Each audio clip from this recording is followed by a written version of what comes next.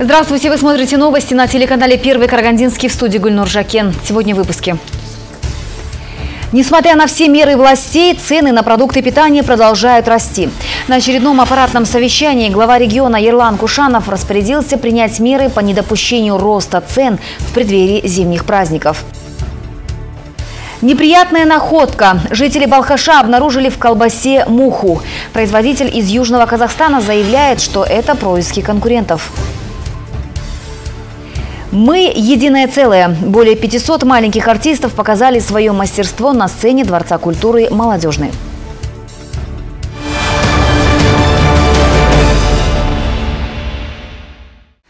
Глава региона Ерлан Кушанов призвал принять меры по предотвращению роста цен в преддверии зимних праздников. Аким области провел аппаратное совещание, на котором были рассмотрены вопросы касательно запасов нефтепродуктов и овощей. Ерлан Кушанов поручил подчиненным взять вопрос стабилизации цен на особый контроль.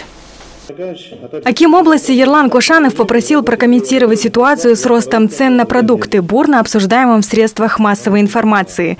Руководитель управления сельского хозяйства Карагандинской области Юржан Бекожин заявил, что наблюдается лишь незначительный рост цен на куриные яйца, а цены на картофель остаются прежними. Он также добавил, что проводятся сельскохозяйственные ярмарки, на которых продукция фермеров реализуется по более низким ценам.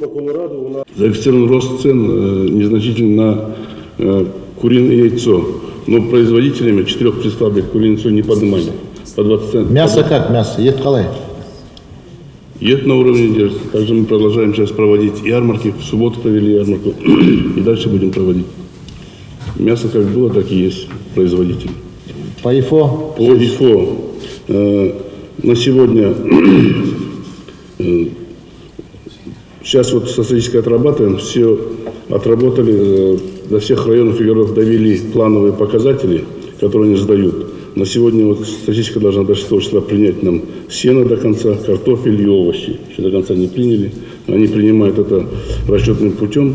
Поэтому, если, например, вот взять картофель, мы 328 тонн произвели, на сегодня принято 295 тонн. Э, овощей также 104 тонн, 4 тысячи тонн произвели, 90 тысяч сегодня приняли. И сено также. Миллион пятьсот девяносто пять приняли, а мы произвели вот миллион шестьсот двадцать три.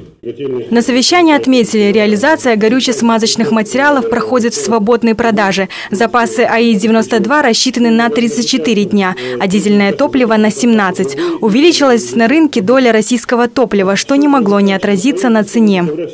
Но необходимо отметить, что выросла доля российского ГСМ до 50%, но это, соответственно, отразилось на цене. Ну, за ноябрь месяц в область отгружено казахстанскими НПЗ 10 тысяч тонн, российскими 11 тысяч тонн. И соответствующая ситуация по дизельному топливу. Поставки идут, проблем нет. Аким области призвал подчиненных принять все необходимые меры по сдерживанию цен. Он также поручил обеспечить стопроцентный показатель выполнения целевых индикаторов. Главными сферами, требующими особого внимания, Аким области назвал инвестиции, строительные работы и сельское хозяйство. Все мы знаем, перед Новым годом, уже в декабре, э, необоснованный рост цен всегда наблюдался. Уже сейчас надо упреждающе работать, какие механизмы оперативные, системные меры надо все это принимать. Также глава региона отметил, что необходимо пристально следить за ситуацией на рынке труда, в частности, своевременные выплаты заработной платы. Тожан Лянова, Андрей Тимофеев, Первый Карагандинский. В областном Акимате также объявили о новых назначениях. Новые руководители назначены в областной департамент государственных доходов и департамент по делам обороны Карагандинской области. Алмат Имангожин назначен новым руководителем Департамента государственных доходов по Карагандинской области. В 1993 году окончил Казахскую государственную академию управления. Начал трудовую деятельность в 1992 году в должности налогового инспектора налоговой инспекции по Калининскому району Алматы. В ноябре 2014 года был назначен заместителем руководителя Департамента государственных доходов по городу Астане. Кайрат Абишев приказом министра обороны назначен начальником Департамента по делам обороны Карагандинской области на военной службе с 1995 года. Работал в военных комиссариатах и управлениях по делам обороны Карагандинской области. До назначения возглавлял Тимиртауское управление. Работал в военных комиссариатах и управлении по делам обороны Карагандинской области. ну, многие, наверное, его знают, он местный. До назначения был начальник управления по делам обороны города Тимиртау. Вопросов нет? Присаживайтесь. Тогда давайте поздравим, и вы можете приступить к выполнению своих обязанностей. Успехов вам! Неприятную находку обнаружила семья из Балхаша. В колбасе горожане обнаружили муху. Они написали заявление в Балхашское управление охраны общественного здоровья с требованием привлечь к ответственности производителей мусульманская. В городе Балхаш. В городе Балхаш. Фирма президентская вроде бы. На этих кадрах отчетливо видно, что в колбасе находится посторонний предмет. При ближайшем рассмотрении этим предметом оказалась обычная муха. Колбасу к обеду жительница Балхаша приобрела в ближайшем магазине. Продукт был в вакуумной упаковке. Срок годности в норме. На следующий день колбасу отнесли в городское управление охраны общественного здоровья. Написали заявление с требованием привлечь продавца к административной ответственности. Однако выяснилось, что реализатор здесь ни при чем. Ну, магазин здесь ни при чем, так как э, колбаса была в фабричной упаковке, упакована, сроки соблюдены. Но это чисто погрешность э, санитарной гигиены в самом предприятии. Поэтому будут разбираться наши коллеги. Оперативно на действия санитарных врачей отреагировал и производитель колбасы. На мясокомбинате ответственно заявляют, что проведут собственное служебное расследование. Однако они склоняются к мысли, что все это происки конкурентов. Мирамгуль Салкимбаева, Андрей Тимофеев, Первый Карагандинский. Полицейский пенсионер на машине сбил девушку на пешеходном переходе. Происшествие было рядом с торговым домом «Строймарт Гипер». Этот момент попал в объектив камеры видеонаблюдения. Охранники магазина показывают момент столкновения. Видно, что стоял солнечный день, на дороге не было плотного движения. И тем не менее водитель автомашины Nissan, видя пешехода на большом расстоянии, сбивает девушку. По сообщению ДВД Карагандинской области, за рулем автомобиля находился 50-летний мужчина, ранее работавший в органах внутренних дел, а ныне пенсионер. 22 ноября водитель, 57-летний водитель автомашины Nissan Жук совершил наезд на пешехода, 30-летнюю женщину. В результате дорожно-транспортного происшествия э, пострадавшим э, оказана медицинская помощь без госпитализации.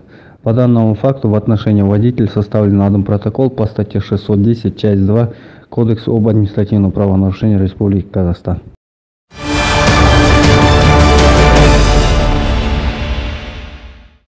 К другим новостям. Учиться честно, зачеты и экзамены сдавать своим умом. Это и называется академическая честность. В столичном Назарбаев университете состоялся телемост под названием «Академическая честность в контексте модернизации сознания». В работе телемоста приняли участие и карагандинцы. В экономическом университете собрались студенты, преподаватели и государственные служащие. В развитых странах с коррупцией борются не только сверху, но и снизу через образование граждан, прививая их навыки антикоррупционного поведения. Образовательные проекты против коррупции инициировали и развивают во многих странах мира. Проекты задействуют граждан на разных возрастных этапах, как в средних школах, так и в вузах. В Карагандинской области проделана большая работа по борьбе с коррупцией в колледжах и вузах. Своим опытом карагандинские антикоррупционеры делятся с коллегами из других областей республики создали э, клубы Адалурпах во всех школах, подписали антикоррупционную хартию со всеми руководителями высших и средних учебных заведений. Внедряем э, проект антикоррупционный омбудсмен, который будет заниматься профилактикой коррупции в этих учебных заведениях. И сегодняшний этот телемост, проведенный с высшими учебными заведениями, э, тоже является одним из направлений и по результатам сегодняшнего э, телемоста мы запускаем по всей республике следующий проект «Аброй Остас», потому что они тоже играют важную роль в данном направлении, и мы действительно хотим, чтобы студенты знали не только цену, но и ценность получаемого образования. Ходе телемоста участники высказывали различные мнения по поводу внедрения механизмов противодействия коррупционным явлениям. Стоит отметить, что среди участников и представители студенческого самоуправления. Среди них представитель студенческого парламента Арман Журабеков. Сегодня в Карагандинском экономическом университете состоялся телемост на тему «Академическая честность в контексте модернизации общественного сознания», на котором приняли участие студенты высших учебных заведений города Караганды. Телемост прошел на хорошем уровне. Я считаю, что нужно проводить почаще такого рода мероприятия для информирования студенческой молодежи и привлечения их к антикоррупционной деятельности, призывать всех студентов к нулевой терпимости. Среди спикеров телемоста известные ученые и личности столичного Назарбаев университета. Они рассказывали об инструментах формирования принципов академической честности в системе высшего образования, а также говорили о роли высших учебных заведений в формировании культуры нетерпимости коррупции в Казахстане. В завершении телемоста дан старт эстафеты «Аброй Лустас». Мирамгуль Салкимбаева, Сергей Высокосов, Андрей Тимофеев, Первый Карагандинский. «Мы – единое целое». Так назвали свой отчетный концерт коллективы художественной самодеятельности Дворца культуры «Молодежный», что в Пришахтинске. Более 500 маленьких артистов показывали свое мастерство в разных жанрах. С утра в фойе Дворца культуры молодежной не протолкнуться. Родители, дедушки, бабушки пришли со своими подопечными на концерт. Кто больше волновался, дети или их родители, не узнать. Возбужденная атмосфера чувствовалась во всем. Будем выступать. Веселый с третьим номером. Веселый с Поросинка. Долго занимаетесь? Э, ну, да. 8 лет. А ты сколько? Тоже. Тоже 8 лет. Мы вместе пошли. Они у меня очень хорошие, добрые, воспитанные. Вы знаете, они очень талантливые. Я их очень люблю. Идут последние проверки техники перед концертом. Все должно работать синхронно, без накладок. На концерт привела у меня там две внучки, старшая уже ходит, 11 лет, Булату Мусаевичу. И младшая внучка, так будет 4 года. Группа, группа Best, группа современного танца. Девочки довольны, ходят с удовольствием, ждут дни, когда ходят на танцы, стараются не пропускать занятия.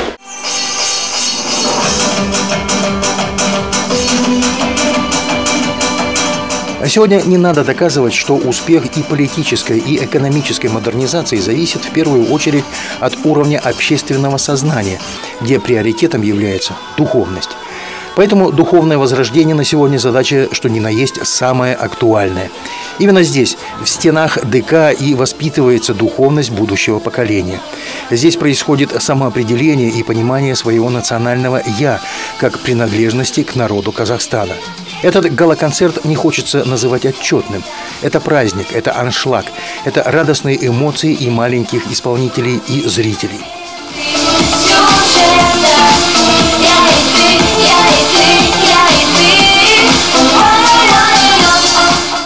На концерте были представлены все жанры исполнительского искусства. От ансамблей дамбристов, кюй-керуини и ансамбля гитаристов до солистов и исполнителей танцевальных композиций. Детство – это самое беззаботное и счастливое время. Каждый взрослый мечтает хоть на минуту вернуться в этот чудесный мир. И организаторам этого удивительного концерта удалось перенестись в мир добра и чудес.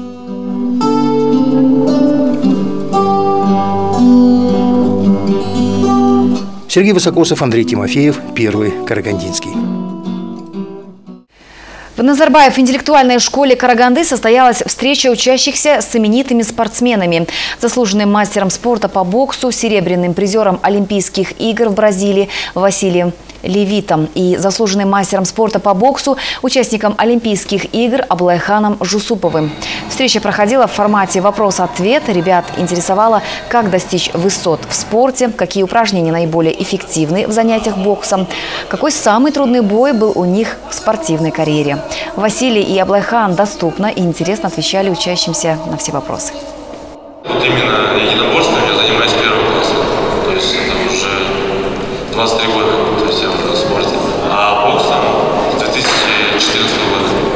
Наверное, каждый человек талантлив, если честно. Просто э, у кого-то окружение хорошее, кто-то, у кого-то тренера хорошие, которые хорошо подводят. И благодаря этим, этому они побеждают. И думаю, э, залог в этом.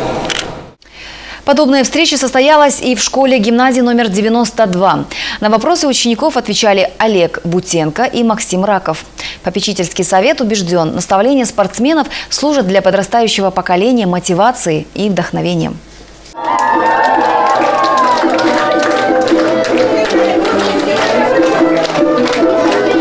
Гимназию номер 92 посетили известные спортсмены. Дзюдоист, заслуженный мастер спорта Республики Казахстан Максим Раков и мастер спорта Республики Казахстан международного класса по пауэрлифтингу Олег Бутенко с радостью приняли приглашение администрации школы. Призеры чемпионатов мира ответили на многочисленные вопросы школьников и рассказали им о том, как нужно преодолевать страхи и сомнения. А какие советы, допустим? Наверное, вера в себя – трудолюбие, если ты будешь знать, допустим, как вот у вас в школе, да, если вы хорошо подготовились к уроку, то, в принципе, вы споко... ну, свободно себя чувствуете, вы знаете эту тему. Так и, допустим, ты, да, ты знаешь то, что ты, блин, ты много очень сделал, ты хорошо работал, ты нигде не сочковал, да, и ты выходишь, ты уверенно идешь, то, что да, я смогу это сделать. Председатель попечительского совета Алмат Каскарбай уверен, правильное воспитание детей является неотъемлемой частью национальной идеи, а истории чемпионов могут стать отличным примером для молодого поколения. Эта встреча организовывается с одной целью, чтобы ученики видели, что все наши спортивные звезды – это простые ребята – которые выросли в простых семьях и достигли этих больших высот. То есть каждый человек этого может достигнуть. Э, данная наша встреча э, организовывается благодаря программе нашего уважаемого Ельбасе, нашего президента Нурслана Абишевича Назарбаева. Э, с учетом э, этих всех его э, задач, которые ставятся не только перед государством, они ставятся же и перед народом. И мы, я считаю, вот, я называюсь, мы должны вносить в это все свою, свой непосильный вклад и небольшую толику в развитие нашей страны. Ученик 11 класса Али Толегенов мечтает стать полицейским. Спорт играет в его жизни значительную роль. Особую любовь он питает к дзюдо и боевому самбо. Али надеется, что в будущем сможет достичь тех же высот, что и чемпионы Максим Раков и Олег Бутенко спортпен айналысатын болғандықтан осы бүгінгі кешке келген біздің ағалар на сегодняшней встрече я хочу научиться у приглашенных спортсменов тому как нужно преодолевать трудности в жизни и в спорте разумеется я хочу стать чемпионом Стоит отметить, что в рамках программы «Булашака Бахдар Рухани Жангру» администрация школы совместно с попечительским советом продолжит череду мероприятий, нацеленных на духовное воспитание учащихся. В скором времени в стенах школы состоится встреча с выдающимися деятелями медицины. Тожан Лянова, Сергей Высокосов, Андрей Тимофеев, Первый Карагандинский. Городские власти сообщают, что 29 ноября с 10 до 14 часов в Карагандинском горно-индустриальном колледже состоится городская ярмарка свободных рабочих мест и запись на бесплатные курсы обучения на 2018 год с выплатой стипендий. Э, колледж находится по адресу улица Магнитогорская, 24. Акимат Караганды приглашает всех желающих принять участие в ярмарке вакансий.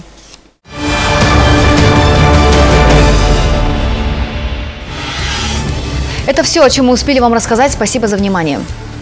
Если у вас есть интересная информация, звоните нам по телефону 42 06 49 и смотрите наши новости на сайте канала. Всего доброго. Аман Саубунгстар.